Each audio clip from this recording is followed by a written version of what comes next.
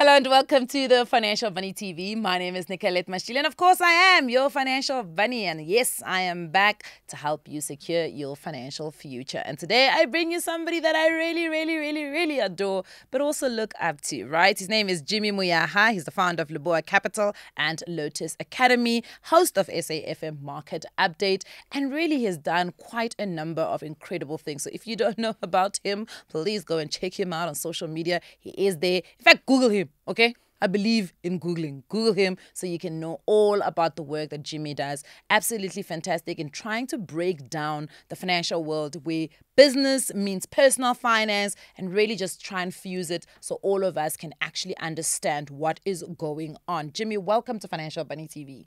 Thank you, Nicolette. Thank you. Oh, it's so great to have you here, guys. You must understand, I've been, been stalking this man for a long time.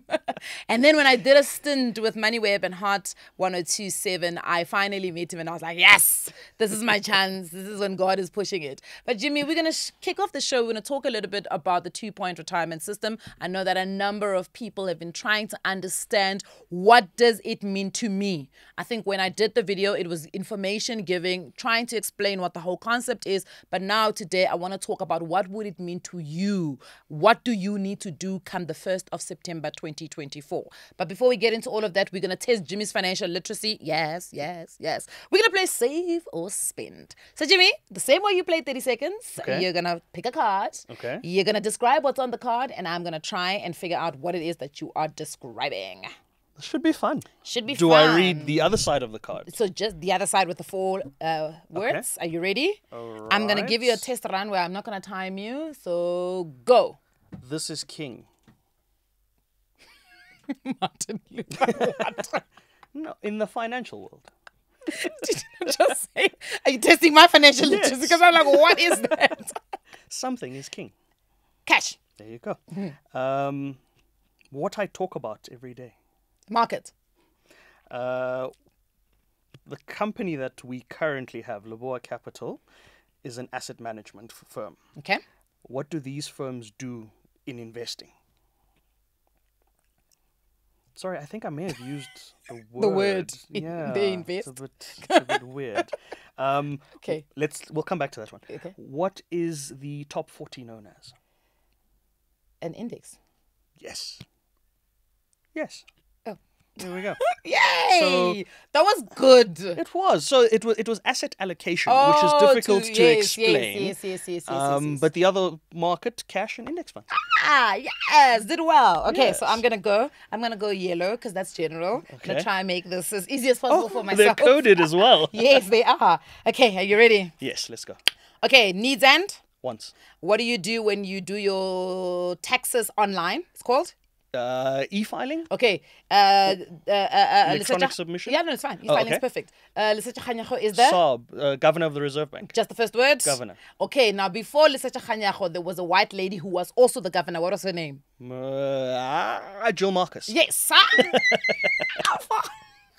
that was so good. that was really Lots of 30 years- was- 30 seconds it. experience. I love that. Very, very much impressed with Jimmy's financial literacy. I didn't think he put mine also to the test there. I was like, hmm, what are you talking about? But as I said, we are going to be talking a little bit about the two pot retirement system. And I think we'll start off the conversation with what was the point of it? Um, I, I suppose the point of it depends on whose perspective you're looking at it from. Okay. So, for what we've been told is that the point of the two pot retirement system is to afford people more flexibility, give them uh, greater flexibility to deal with the challenges of everyday life um, by affording them access to their retirement before they retire. So, by introducing a savings pot, we then say there's a portion of the money you can access before you retire because life happens and you might need, you know, emergency funds or you might need to tap into emergency reserves. I mean, COVID was a, a very big turning point in our society, in our understanding of what we do with our finances, with our lives, and all, all those sorts of things. Um, but I suppose it was just, yeah, in an effort to provide more access to resources for individuals so they can better support themselves. Um, that's what it was intended to be. But one could also argue at the same time that this is a political stunt. Yeah. Why do it now? Why in an Election year. election year? Why try and rush it to be approved before the May um, voting date of the 29th? So there, there's a lot of different perspectives you can. I mean, we, we'll look at it from all the perspectives that we can. Um, and of course, there is a lot of political influence where it comes to this, simply because of the uh, government employees pension fund, the PIC. There is a large portion of South Africans that have their um, finances sitting with, sorry, that have their finances sitting with the government, and the government is responsible for managing those pensions. So we'll look at it from various angles there, but in essentially it was aimed at, or hopefully aimed at helping people. Aimed at helping people. Now, I, I attended a pensions conference, I think uh, last year or two years ago in Zambia. And one of the biggest things that were coming out were young people saying, But why are you not allowing us to lend against our pension? Now, in South Africa, we've mm-hmm. got things called pension back lending, which is more your home loans, mm. right? A lot of the government institutions love to mm. do that mm. why can't I use my pension as an asset that is is, is going to help if I want to buy a car, if I want to buy, you know, I know in houses, but like, why can't we extend that? I think that's that's down to a lot of things, right? So legislation might be a part of it. Mm-hmm. Two might be the type of debt that you want. It does not make sense for us to have you use a long-term um, pension fund to Mm. finance a credit card that you should be, you know, maintaining and, Mm. and that sort of thing. So uh, the types of credit that we have might not necessarily line up with uh, what the pension fund could be used to back. Um, but also, if you think about the nature of a pension fund, it is a long-term thing that is you're investing essentially on a monthly basis for 20, 30, 40, even 50 years in some cases um, to then retire with something. And the whole purpose behind Uh, or at least the, the drive from a government perspective is that when you retire, your pension should be enough to look after you so that the mm. state does not have to look after you. Mm. And the more you're using those funds, the more you're putting them at risk, the less likely you are, because you don't know what's going to happen tomorrow, mm. regardless of how good of a payer you are, you don't know what tomorrow holds. And the the whole point of it is to preserve this so that when you retire you have something to retire with. Now to the point on using it for certain types of uh, credit. I mean, if you think about a home loan, uh, the banks also view a home loan as a long term thing. So then for them, it lines up to say that makes sense. It's a long term liability. You're committed for 30 years. It's not a. It's not the latest VW mm. GTI that's going to be a five year lease or a three year lease. It's a mm. long term commitment, mm. much like the pensions. So I think there's a couple of things that are at play around using pension funds for other things. Yeah. And we must also remember that the PIC, in the case of government pensions, then takes those pension funds and invests them in an effort to grow that value. So if you are then taking funds and saying I need to put these funds as surety for one, two, three, four, five, depending on who you're who's granting you that loan, mm. you might not be able to touch that money. And Yeah. if someone like your your asset manager needs to do a portfolio reallocation or readjustment or whatever, they might find that difficult. So if you mm. think about a pension fund, they're typically invested in 60% pen, um, bonds and 40% equities. Mm. If say for example Nicolette has a pension fund 100,000 rand 60,000 is invested in bonds 40,000 in equities and you suddenly take out a loan against that and the market goes through what we went through in covid and equities completely are out of favor. Yeah. your pension allocator your asset allocator the the guys that manage your pension fund Mm. sit there and say okay we need to do a portfolio adjustment Yeah. I need to be out of this equity or this exposure and I need to be into this other market or whatever. Mm-hmm. That is limited because with the surety that's placed there, I might have to exit a position at a loss because I'm exiting early or I'm, I'm forced to exit at a time I didn't plan to. So Mm. that might result in fluctuations in the mm-hmm. amount, and that's going to affect how much is set as surety. In a home loan, it's a very mm-hmm. different thing because it's a mm, long term. term, I can yeah. recover those. Markets are cyclical. We can we can get into the ebbs and flows of ups and downs of markets. Mm. But if I need to make a long term decision on a portfolio that I know is going to mature in 20 years, mm. I don't need that being jeopardized by By a five minute short term mm. decision like do I mm. have a 10,000 Rand credit limit or not? Yeah, makes sense. All right, so the government has now res- re- they've, they've, they've, they've kind of concluded to this two pot retirement system that comes into effect on the 1st of September 2024. what exactly should an ordinary South African who has some form of retirement fund, what should they be doing? So the lovely thing about this is um, South Africans don't actually have to do anything. Um, you have a couple of options at your disposal. Okay. Let's start with what happens come September 1st, 2024. Uh, you have every every contribution up to the 31st of October, 2024. August. August, sorry. Yes, Everything up to August 2024 will be placed into what is known as your vested pot. Okay. All right? Okay. All your contributions, your your monthly deductions that go off go into this pot. That pot is ring fenced. It's placed to one side. We'll come back to this pot. Okay. Let's Okay, leave it there, let's for, leave it for two seconds. On the first, your contributions that go off from the first going forward Mm-hmm. are now going to be split in two ways. Mm-hmm. 33% is going to go into what's known as a savings pot, Mm-hmm. and 66% is going to know going to sort of a new um, annuity pot, which will be similar to this vested pot, which will buy you an annuity product. So, Mm-hmm. So when you say buy you an annuity, you mean buy you like an income in retirement? Yes. So that Okay. so now we let's look at it from that perspective, Yes. right? Let's jump to retirement quickly. We'll come back here. Let's jump to 55. At 55, um, when you retire, you are allowed to access a certain portion of the vested pot and all pots or your, your entire retirement pot. Yes. But the law states that you have to purchase a retirement product. Product, So whether yes. it is a living annuity, whether it's a retirement annuity, you have to purchase a product that will pay you out and look after you on a monthly basis. So that the government doesn't. right. And those products sit with asset managers. Okay. Such as Sanlam, Old Mutual, Leboa Capital, Yes. those sorts of things. Yes. So where the uh, what you do at retirement is you sit down with your financial advisor. Hey, I'm 55, I'm retiring. Your financial advisor says, "Right, this this is what your retirement looks like. Let's assess your risk. How much risk do you want to take? How do you want to do this?" And they then tell you this is the product you want to then purchase. It'll give you 3% or it'll it'll you'll draw down at 4% Ah. a year. It will grow at this rate or whatever it is and that's how you purchase that product at Okay. 55. Okay. Now, in your life leading up to that, you are then saving up to purchase that product. Okay. That's And where that's the sixty-six percent. that's it. Okay. That's the 66%. So now, come the 1st of September, when they do that split, if you are still working and you haven't reached the age of retirement yet, Yes. your contributions from then going forward will automatically be split in that Into manner. In the Okay. past, it was always just in one pot.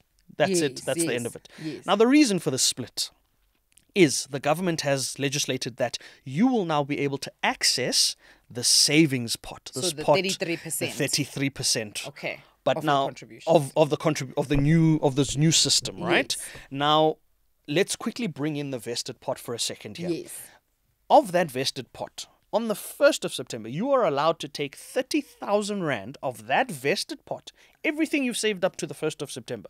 You're allowed to take 30,000 Rand of that and put this into your savings pot as your seed fund of the savings pot or as your initial contribution of the savings pot. It's a once off amount, you can never do it again, and that's the limit. Okay, hold on, hold on, because that gets people a little confused, right? Yes. You saying thirty thousand. So let's say my pot, my my my retirement up until the thirty first of August, all equal to only forty thousand. Yes. Am I allowed to withdraw thirty thousand from it, Mm-hmm. or am I allowed to? Is it the because then there's the whole ten percent. Mm. So is it ten percent of the forty thousand, or will it be thirty thousand as a lump sum? So it is 10% of your entire amount saved, Okay. capped at 30,000. Okay. So it may not exceed 30,000. So essentially, it's not you withdrawing thirty thousand from the forty. It's ten percent of it. 10% As capped long as it doesn't go above 30,000. Yes. In the case where Please. In the case as you said where the savings is only about 40,000 or whatever, there is legislation that says if you retire and the cumulative value that you have, I believe the threshold was 251,000 or 250,000 or less. Yes. If you have accumulated less than that, you're entitled to the entire, Entire amount. amount, yes. Now, why that comes in is because let's assume a different amount. Let's Yes. assume you've hit 4 million Yes. at retirement. Yes. There is a different piece of legislation that says your first 550,000, uh, it was 500, it was bumped up to 550. Yes. That first 550 is tax free. Tax-free, So okay. for the government, it's the same as allowing them to let you take the 40,000 in its entirety. Ah, So okay, more okay. often than not, we're dealing with pension benefits that exceed the 250,000 threshold. Okay. And so therefore that's why I used the 30,000 Yes. and not the 10% Yes. because it's always going to be capped at 10 at 30,000 Yes. no matter what it is. Okay, so for all you newbies who are new to employment, who might not have even more than a hundred thousand, or let's even bring it down to fifty thousand rand, remember it's ten percent Mm. and not thirty thousand rand. The thirty thousand is capped if you have more than that, and your ten percent exceeds the thirty Mm-hmm. Yes. If your 10% Perfect. equates to more. Perfect, Absolutely. perfect, perfect, perfect. Okay.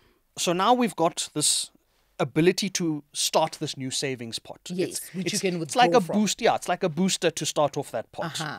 Now the the withdrawal terms as we understand them is that you'll be able to withdraw only once a year okay, from that savings pot. Mm-hmm. And secondly, any withdrawals you make from there are taxable. That is the big caveat. Taxable. So if you think about your contributions, let's say you, you put in the first 30,000, you're contributing, you're contributing, and by the time you get to retirement age or whatever, you've got 100,000 in that savings pot. That entire 100,000 is taxable, subject to obviously the overriding uh, legislation around the 550,000 um, deduction or the 550,000 tax exemption.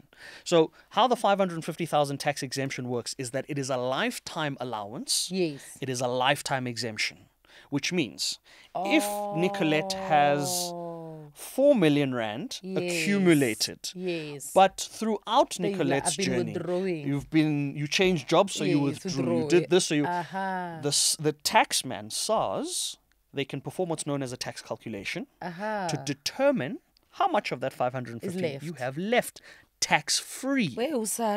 The moment you've exceeded that 550, it doesn't matter how your product is structured, it doesn't matter what happens. Anything you withdraw They is subject tax to you. tax. But now your savings pot doesn't wait for that. It's subject to tax from day one. Every day, every time, every, Every time year, you withdraw. every annual withdrawal, it is subject to tax. let me let me let, let, let me let me take this and, and I want to add this as well um, because I had the, a similar question as well. Um, in terms of contributions, Mm. you cannot top up the one without topping up the, the other. other because they split them. They split them. So Yes. if you then have a contribution that's 3,000 Rand a month, 1,000 Rand goes to the savings, 2,000 2,000. goes to the 66%. Yeah. If you then decide to double up that payment and make it 6,000, you cannot decide that the Three, new three. The, the second Yeah. three Yes. goes only into savings. It will still be Be split, split. in accordance with that. This is why they didn't they didn't do any increases to tax this year because they knew they were gonna catch us out with this retirement system. It's it's such a and so this is what we understand about the re- retirement system up to now. Yes. There's still other legislation around divorce law and all of that that brings in mm. new caveats that mm. we're still trying to unpack. Mm. So the government, uh, we, we've we've got a workshop that's taking place from National Treasury later around the I think it's the 19th of April if I'm not mm-hmm, mistaken. Mm-hmm. That will then provide clarity on some of the questions that still exist in the market, mm-hmm. and there are still some questions from a financial perspective around whether or not this is practical to implement. Mm. Because come the first, if everybody phones their retire their uh, portfolio managers, their Administrator. Mm, financial, mm. uh, or the, yes, their their administrators of their pension funds, and says we want to do this, do we have the capacity Capacity, to yeah. be moving around So billions Yeah. at once? So that is still coming up. You almost need to say to everybody, you need to make a decision between the first of August and the thirty first. You know what I mean? Because it becomes a little because it's not automatic. That's it. So now, even from that perspective, Sure. we are still waiting on certain things to be ironed out from a legislative perspective. Yeah. Whether it's from the FSCA's perspective around institutions that manage these funds Mm. and how they deal with that, uh, whether it's from the different legislate uh, legislations that might conflict with the Mm. pension fund. There's still a lot that needs to be, and we're running out of time. We are. Time is not on our side. I want to park something and I want to Hmm. come back to it. The divorce, you just mentioned, you know, divorce laws. We had a Hmm. whole big issue come out on social media with a financial institution. Don't need to mention names. Mm-hmm. And one of the reasons why that entire thing happened was because of a divorce decree, right? And I want to just park it if you are comfortable for us to just go into it because I think there's a financial education piece that needs to be discussed there Hmm. that did not come out strongly on social media. But let's come back to two pot retirement system, right? So now So here's what people are asking. People are saying, okay, I've got this pot that you spoke about that we put away. Yes. Which is where all of my retirement currently, right now, over the years that I've accumulated is now sitting and they're calling it the vested pot, right. Right. Now, when I decide, let's say 1st of October comes Mm-hmm. and I decide to resign, Yes. eh, do I still have access to it? Absolutely. And I can still withdraw? Absolutely. So so if you again first of October or first of September comes and you decide to resign, Mm. we're assuming you're over fifty five. Yes. Not even before 55. Before fifty five, it becomes a complicated. I'm changing thing. jobs. It becomes a complicated thing. So, Okay. if you think about the legislation now, if you change jobs, Yes. you c- you have the option to move To another your- fund. Exactly to Yes. another fund. That option still remains. It still persists. Okay. Um, you can then leave the. There's the option to even purchase a or put the vested pot Into preservation. into a preservation and, Uh-huh. and provident fund because the preservation fund gives you a bit more flexibility Yes. than the traditional pre and post or retirement fund that we know. Yes. Um, now, if you do choose to do that, Mm. that you'd have to consult a financial advisor on in terms of the merits and the disadvantages around why you would do that.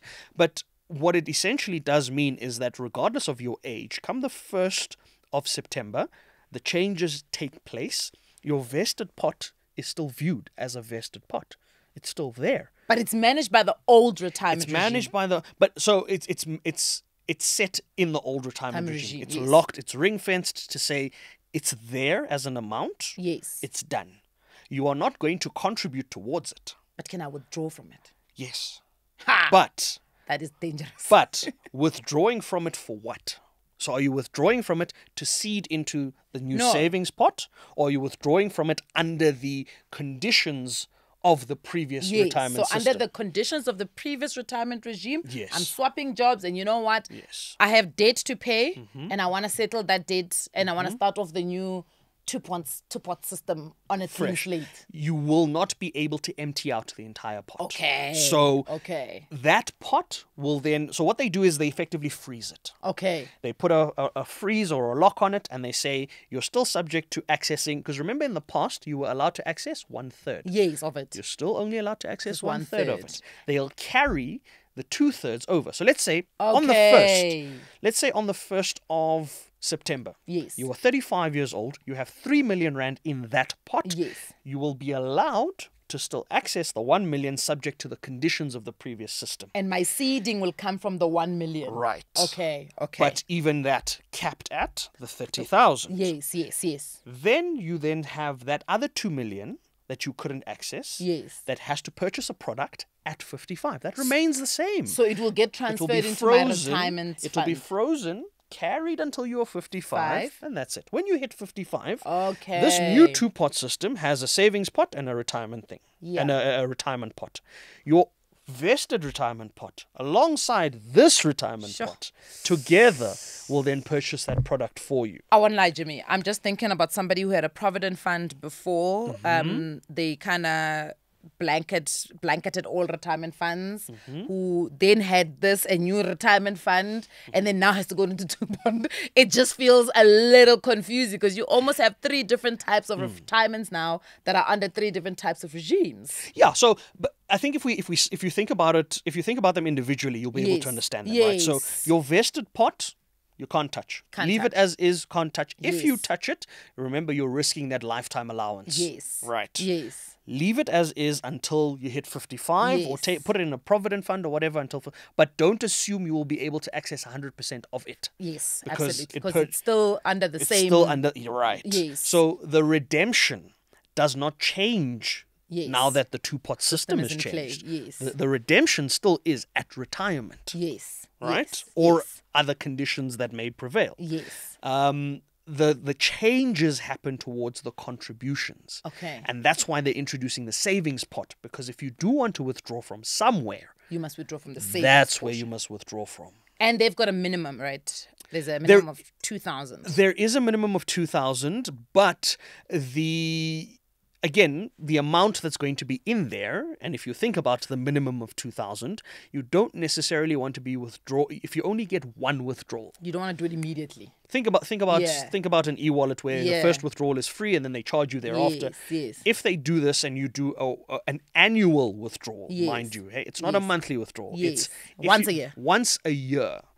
And think about the use of that carefully. Think about whether or not you really need to withdraw from that. So if you if you Ah. contribute a thousand rand a month, let's say you seeded with thirty thousand, Yes. the cap, Yes. and then you contribute a thousand rand a month. Yes. At the end of the first year of this new system, 1 September Mm. 2025, it's 42,000 Rand. You can withdraw the entire 42,000 Rand. Mm. It'll be taxed. and use.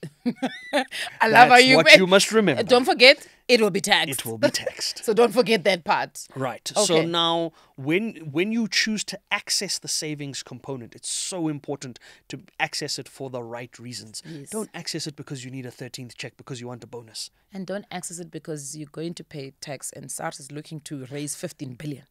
Absolutely. and they are ready to raise 15 billion. And they probably will. because the minister was too excited about, oh, you guys get all of your money in the 1st of September. And I was like, oh, minister, don't do this to us. Okay, so let's talk about somebody who's 55. yes. What decisions do they need to make? Because, I mean, at 55, you can now retire. Right. Yes. The decisions you need to make are which retirement product do you purchase? Okay. That's you, your financial advisor, sitting down, understanding which product and understanding why you want to purchase that product. So there's a rule of thumb around not um, however you however um, whatever amount you then receive on a monthly basis needs to be equivalent to 4% or less of the entire value of the portfolio so that the portfolio lasts you a certain amount of years, right? There's mm. a calculation that goes into that. Mm-hmm. But the decision you're making there at 55 is what product are you purchasing? Okay. Because you also need to take into account the fact that retirement funds now, the government is exploring the possibility of using that for different purposes. And we'll get Sorry, to that. wait, what, what? Um, there's hold up, been hold up, hold up, hold up. there's an old piece of legislation that was done away with in the late 80s, pre-democracy, Okay. that uh, the government, or the current uh, ruling party, is looking to revisit around using leg- uh, using pension funds to finance infrastructure development projects. That has a different set of ramifications. So we want to build a bridge between Joburg and Pretoria. We don't have the money. So government is saying we should be able to dip into pension funds of government employees to build this bridge. Not just government employees. Not just Um, government Yes. employees. So if the legislation goes through, depending on how it goes through, uh, we could be faced with a situation where fund managers, asset managers, have a mandate to, to purchase or to invest in certain infrastructure projects um, to enhance and improve those infrastructure projects. The aim of that is, of course, to bolster the state of the economy and all of that. Not mandate. you know what mandate always like makes me uncomfortable. Right. Now, it might be a very open mandate to, to not restrict uh, companies and asset allocators on which types of projects they invest in. Mm-hmm. It's all still very much up in the air, so Mm. no need to panic just yet. Let's wrap up the 55 year old. Yes. At 55, you've never touched anything. Mm. You've been diligent. You've contributed for 30 odd years or whatever it is. You find yourself at 55. You're purchasing that product. Okay. The other conversation you're having is do I take the 550,000 Rand lifetime allowance, mm-hmm. that once off? Mm, um, mm. And again, from that, it's not that you can only take 550,000. Remember, from your vested pot, you're entitled to a full third. So if your third equates to that, let's let's use a 3 million rand example again. If your third equates to 1 million rand, mm. the first 550 is tax exempt. Ah, yes. The 450 that follows is subject to tax, and you can withdraw the full million. But this is if you're choosing to retire at 55. Right. Let's assume you say, I don't want to retire at 55. Okay. So I'm now part of the two pot retirement system. Okay. Right. Do, do you need to opt in? You have no option to opt out. Oh, damn. oh, damn. So it's uh, unfortunately what it means is that even even if your vested pot sits here, Yes. from the first, all of your contributions, as long as you're still contributing towards retirement, be split. will be split. You have no option to not have them split. Okay. Then at 55, you sit down with your vested pot, your savings pot, your new pot. And you then say, I have, across these three pots, I have 6 million rand. Of my 6 million, 66% of it needs to purchase. A, an annuity. Right. The 33 that's sitting in the savings, Savings pot that would have been the and the, not even the vested just let's take the savings pot Okay. for, uh, on its own Yes. whatever that reaches up to that point, if you haven't withdrawn that At all. at all, Yes. you are able to withdraw it, but you are then still subject To to, tax. Tax. But on this vested side, the one third on this Mm-hmm. side is under the rule of the 550,000. The savings pot is under the same rule. Okay. So, six million rand at retirement, Yes. you haven't touched a single cent of it. Yes. Of the six million, let's say three million was sitting in this pot, and three million is was sitting in this new pot. pot. Yes. In this new pot, you will have in your savings, you'll only have one million. Yes. Because it'll be a third split. Yes. In pot three, the new annuity, you will have two million. Yes. On this side, you will have a vested pot with three million. Yes. Which means you will have um, access to a third of this pot Yes, as cash. as cash at, Yes. at one million. Yes. The savings pot at another million. Yes. That gives you two million. Yes. Of that two million, only, Only 500 is tax exempt. Aha. Okay. Okay. So That's what I was trying to so the, so the main thing is the chances are your your vested pot is going to push you well above Above the the, threshold. thresholds across the mm, board. Mm. So when you then retire, you're purchasing the retirement product. Mm. Now what's interesting is with the vested pot and the new pot system, you can elect if you happen to change jobs. Okay. This is a unique thing. You can elect to leave your vested pot with its previous provider. Or if your employer changes providers, oh, Providers, yes. you can leave the vested pot there. Yeah. And when you start the new pot, if you happen to be starting it with a new employer or the employer starts with a new asset manager, Yes. you might have an entirely new system or an entirely new asset manager Yes. that manages the new, New pot. pot. So at retirement, you might find that you're dealing with two, different, different c- conversations here, Mm. and that's a unique advantage. A lot of people might think that that's confusing, but it's a Mm. unique advantage because. Again, let's take the 6 million rand. It's a simple example, Mm. right? You bring through the 2 million from the vested and you've got 2 million from this new saved pot. Mm.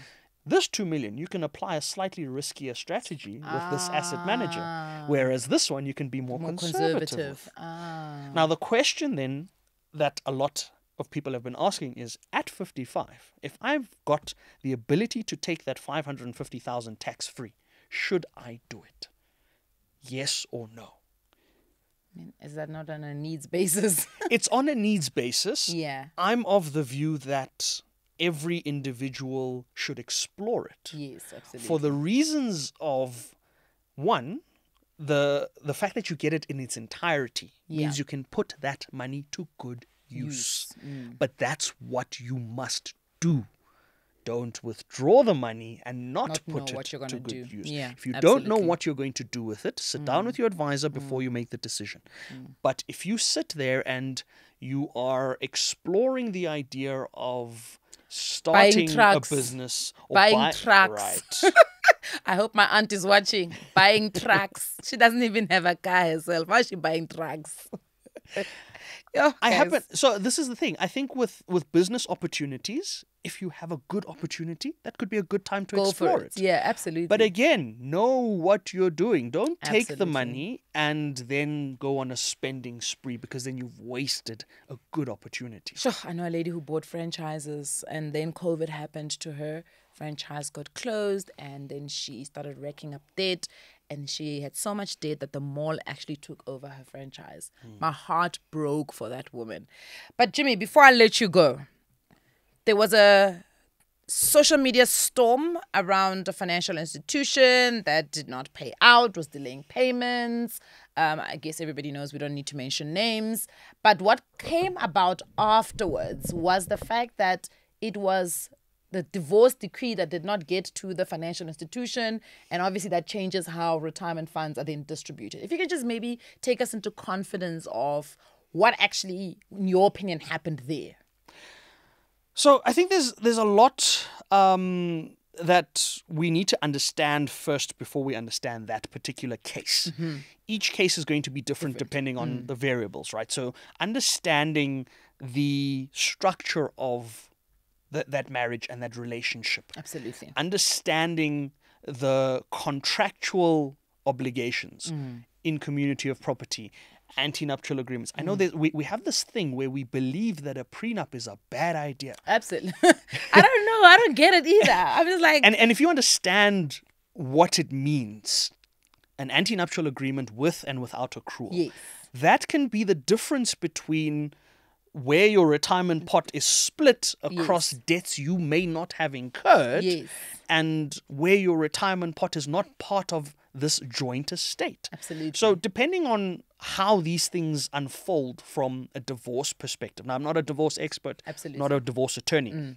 You'd have to look at the agreements that were in place in, within the marriage, Yes. the uh, time frames of which these agreements were entered into, but also understanding that there may be personal agreements Yes. between Me the parties yes. when they were married, Married, and those need to be taken into account. So it becomes very difficult to sit there and say, "Oh, I'm entitled to this," or "Oh, you owe me this much," without understanding the intricacies. I'll use I'll use a different example Okay. from the one that we know. I'll use a more recent example. Um, the South African Reserve Bank is currently sitting with frozen Mm. funds Mm-hmm. from a certain individual who received these funds Mm-hmm. from a company linked to another individual who has since passed, yes. who is under investigation. Fun. Fun, always fun. What fun. a typical South African example. Always fun. now, the, the the argument is that these could be the potential benefits or proceeds of fraud From criminal and activity. criminal activity and Yes. those sorts of things. Yes. And you are not then not allowed to access the funds, Yeah. right? So the courts on this basis granted the Reserve Bank a preservation order to preserve Mm. Those those, funds. Mm. These two individuals were never married. These two individuals, it is speculation that one was the ex girlfriend or the ex mistress of the other. There is no legal agreement Mm. union there. between And the you two, can mm. see that the, there is an extent to which the courts feel that those funds need to be preserved until the investigation is concluded. So the point I'm making here is to say that understanding what is unfolding is important to understand the implications it may have Yeah. on lockups that are placed on your estate. Yes. Yes. All right. I mean, eh, with that in mind, uh, you're not married? Not yet. Not yet. Um, community of property. Hmm. Which one do you lean towards and why? I lean towards the ante-nuptial contract. It has nothing to do with whether or With not or without accrual? Um, that I'm still kind of deciding on. So it has nothing to do with whether or not you love your partner or not. Of course not. Yeah. Um, for someone like myself who has started a number of businesses, ma- being married in community of property means my spouse is at risk of any failures that I go through. We are considered one single joint estate from that perspective. If I'm going to be entrepreneurial and there's going to be um, businesses that incur debts, you mentioned the, the, the friend of yours who had the franchises Yeah. that then had to give up those franchises. If there are debts in that respect that then come back to a person in their personal capacity, they come back to the entire estate. Estate, They come back to your partner. Mm. So, from a business perspective, it is smarter to separate those mm. and have those secure. You can have assets in, in, in a business context, you can grow assets in a marital and family context. Mm. Now, with or without accrual depends entirely on how you do it. Essentially, the mm. only difference there is from the date of marriage of marriage, Whatever. everything mm. afterwards is then accrued by both of you Yeah. as a joint unit or accrued in your individual capacities. That comes down to preference. Does that accrual also take in account date? Or Yes. is it accrual just oh, so if It's it's accrual it of assets and community of liabilities. property. It's accrual of everything. What did we? So it is we we we arrived at this marriage Yes. with our own assets. and whatever decisions we make after. After that, with together. accrual, we are considered together. okay, my future partner, there's no accrual. We're not playing these games. but also just think that if you're going to be entrepreneur, you better marry a nine to five so you can balance it out, right? you're going to balance it out for the kids because, you know, if I lose everything, at least my partner still has these, something. These are considerations you have to think about. You have to look at, um, and again, this has nothing to do with whether or not you love your partner. Mm. It is entirely about understanding the reasons behind that. Another thing to look at is in the event that your partner passes away, mm. what then happens to the estates? If your partner had debts, they had a credit card that was in their name, and you're married in community of property, mm, that debt and those liabilities are, for, are, for, are part of one singular estate, which means you might be held liable for those debts. And there's nothing worse than paying uh, is what's that thing Ch- maintenance for your partner's children that pop up after marriage and now they come to you because joint estate mos now they want you to pay for maintenance. Interesting developments. Always interesting. But Jimmy, you're absolutely fantastic. Thank you very much for joining us on the Financial Bunny TV. We're hoping to have you once again to come and help us really just simplify some of these financial terms, financial laws, reforms, processes, and all sorts of things. Because at the end of the day, I think a majority of us really would like to secure our financial future. And we can only do that by knowing today the right decisions to make so that tomorrow they give us the financial reality we are working towards. Now, before I go, please do remember that none of what we say on this channel constitutes as financial advice. If you are looking for financial advice, please speak to somebody who's certified and registered with the FSCA. And if you want to get in contact with Leboa Capital, we will leave the details right here on your screen right now. But until then, I'll see you guys on the next one.